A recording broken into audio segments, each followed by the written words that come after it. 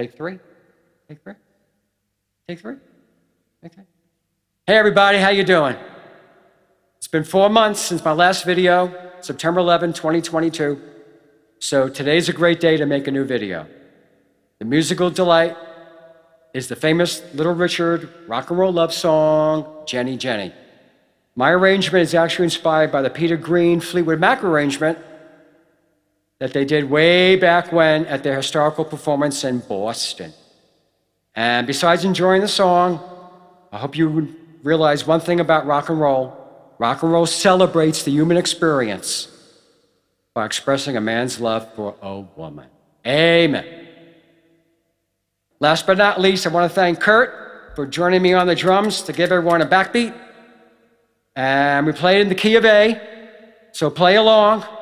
And if you can't play along, then I really hope you're dancing.